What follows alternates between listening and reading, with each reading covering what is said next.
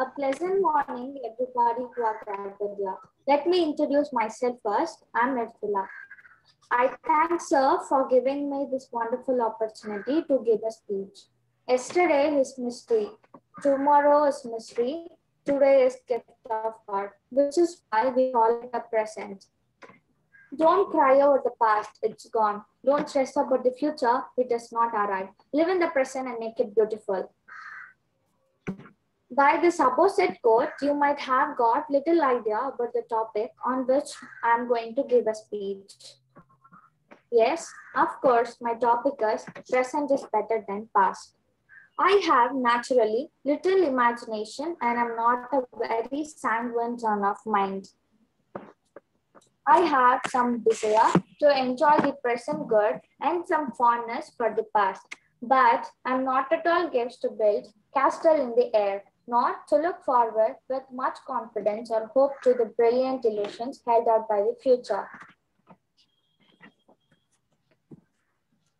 Those joys are large beyond the reach of fate. It is not, however, attempted to be denied that though the future is nothing at the present and has no immediate interest while we are speaking, yet it is of the utmost consequence in itself and of the utmost interest to the individual because it will have a real existence and have an idea of it as existing in time to come well then the past also has no real existence and we can still call a vivid recollection of it as having once been.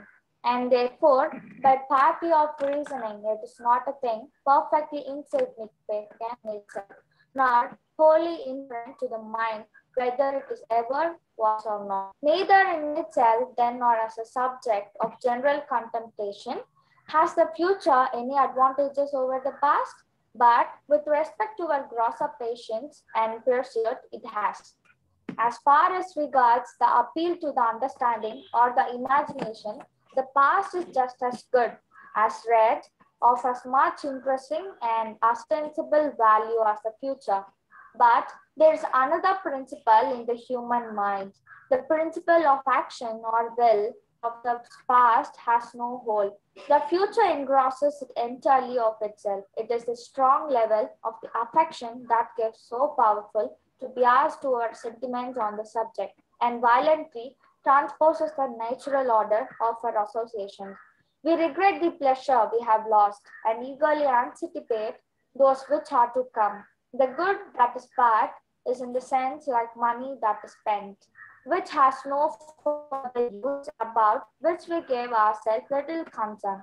Our regret, anxiety, and wishes are thrown away upon the past. But the insisting on the importance of the future is the utmost use in aiding our resolution and stimulating our exertion.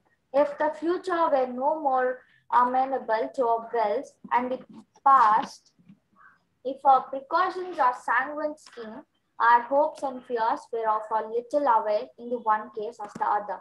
If we could neither soften our minds to pleasure nor steel our fortitude to the re resistance of pain beforehand, it is not that the one belongs to the future and the other to the time past, but that the one is a subject of action of uneasy, apprehension of strong passion, and that the other passed wholly out of the sphere action into a region the contemplation of the one is as delightful and real as that of other. The season of hope, all, hope has all end, but the remembrance of it is left. The past still lives in the memory of those who have leisure to look back upon the way that have control and came from it. Catch glimpses that make them less forlorn turbulence of action, uneasiness of this year must point to the future. It is only in the quiet innocence of shepherds and the simplicity of pastoral ages that a tomb was found with this inscription, I also was Arcadian. I, I conclude my speech by thanking you all. Thank you, sir. Good, Mirtula. Your speech was wonderfully done. You have uh, made a lot of effort in making your speech uh, more effective okay, in terms of uh, preparation. And therefore, it is something to be appreciated very highly. Okay. And uh, few things uh, I want to tell you. It will be better if your camera is on. Uh, then uh, your uh, speech uh, was uh, uh, in such a way that uh, you kept on delivering a lecture. Okay. And you you have to do some modifications in your tonality in the way you speak. Okay inflection rising and falling inflection uh, is uh, something is uh, which is needed for the speech okay so there should be variation. Sometimes you have to uh, raise your voice sometimes you have to lower. And in your speech from the beginning till the end the tonality was the same okay? Uh, you are not aware of it okay? You have to try okay? Suppose i speak when i take class i speak in the same tonality. I'm sure in 10 minutes all of you leave the class sometimes there should be rising inflection sometimes uh, falling inflection only then it will be like a speech that is where we are driving you to okay? and uh, that's why i also gave the name public speaking drive. There is a drive, there is a push. It should take you to the next level, which will be possible when you make attempts. So in future, if when you are trying to give speech, it is better that you stand up and give the speech. Okay.